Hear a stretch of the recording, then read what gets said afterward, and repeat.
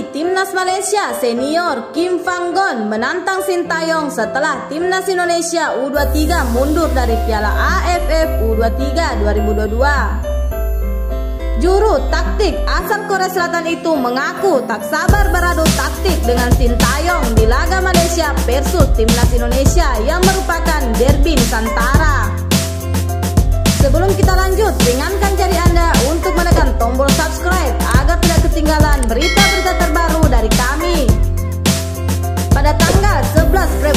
2022, kabar tak menyenangkan menimpa seluruh personel timnas Indonesia U23.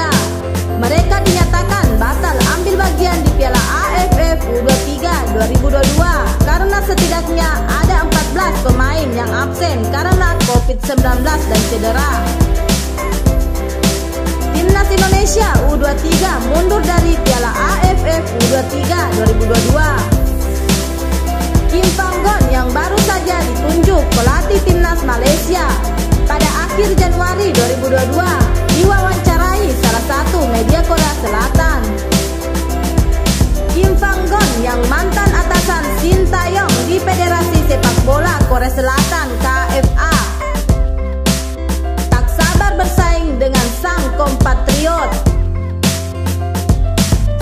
diketahui, ketika Kim Panggon menjabat sebagai Kepala Komite Pemilihan Pelatih KVA, Shin Taeyong berstatus sebagai pelatih timnas Korea Selatan.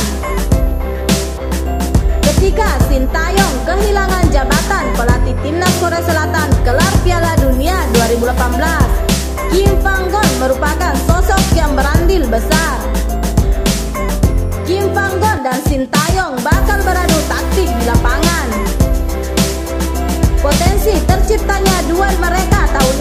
besar.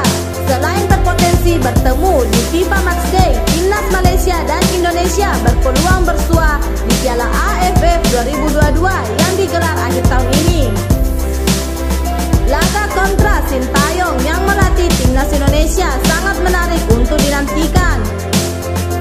Kim Panggon tantang Sintayong Selain membahas Sintayong, Panggon takjub dengan kualitas melatih sang senior yang juga berasal dari Korea Selatan, Park Hang Seo. Sejak November 2017, Park Hang Seo menjadi pelatih timnas Vietnam. Secara luar biasa, Park Hang Seo mendongkrak prestasi sepak bola Vietnam. Skuad Vietnam dibawa lolos ke final Piala Asia U23 2018 2018. Juara Piala AFF 2018 merebut medali emas Asia Games 2019 dan lolos ke babak ketiga kualifikasi Piala Dunia 2022 zona Asia. Banyak prestasi yang telah diraih Park Hang Seo, sulit bagi saya untuk melampaui prestasinya. Namun saya melihat Malaysia memiliki potensi untuk melakukan cara yang sama. Tutup Kim Fang Gon.